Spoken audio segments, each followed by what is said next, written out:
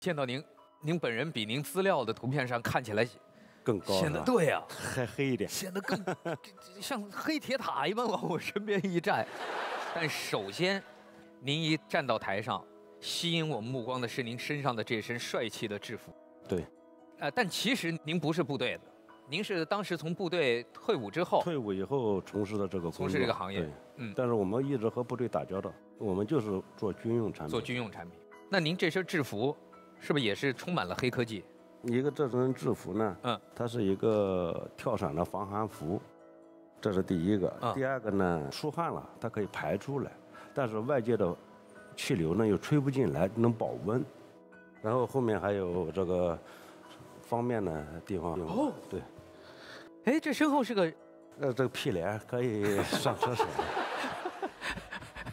人性化设计。所以这就跟宇航员上了太空，包括飞行员在座舱里，他们有很多这种人性化的设计人性，化设计都是实际上就是从人的本身的角度出发。哎，比如说您要是试跳的话，您主要是要测试这个伞的什么哪些方面的数据和功能？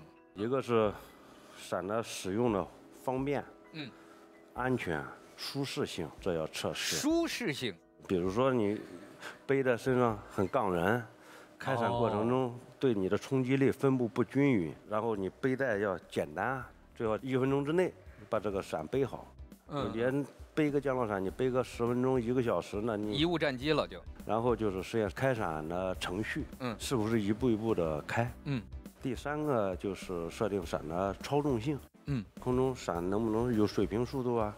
能不能转弯啊？嗯下降速度会不会超啊？嗯，最后就是在各种环境下去验证它能不能适应各种环境。嗯，哎，你比如说高、低、重，极度寒冷，极度炎热，是吧？对，高寒、嗯，高空、高空，高原、嗯，水上、夜间等等一系列的，只要是闪的极限，我们都需要试验。